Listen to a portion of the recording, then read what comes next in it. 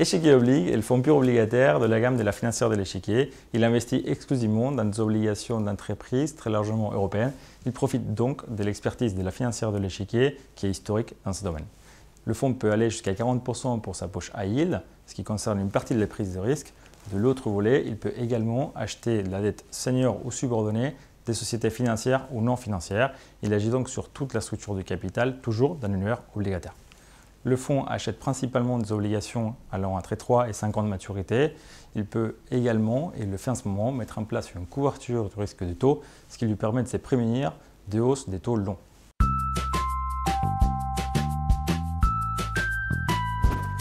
L'actualité du monde obligataire est marquée par, d'un côté, des taux courts et longs historiquement bas, ainsi que des primes de risque relativement serrées. Les banques centrales sont à la manœuvre depuis plusieurs années et cela, en quelque sorte, anesthésié le marché de crédit particulièrement en Europe.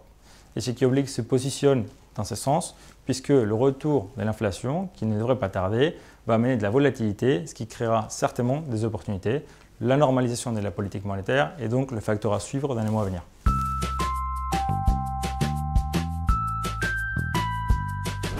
La force de chez Oblige, dans le contexte que nous allons décrire, reste donc la mobilité. Les stratégies buy and hold ne nous semblent plus adaptées à l'environnement actuel. La mobilité se traduit par deux volets, d'un côté, le bond picking, où nous allons choisir des émetteurs, des souches, des maturités, des subordinations différentes. De l'autre côté, il y a le pilotage de la duration, ce qui nous permet de réduire la volatilité amenée par les taux. La croissance en Europe reste forte et synchrone, c'est pour ça que nous croyons qu'il y a de la valeur dans la sélection d'obligations d'entreprises européennes. En revanche, nous restons vigilants sur le risque de hausse des taux longs, c'est pour ça que nous sommes actifs sur leur couverture.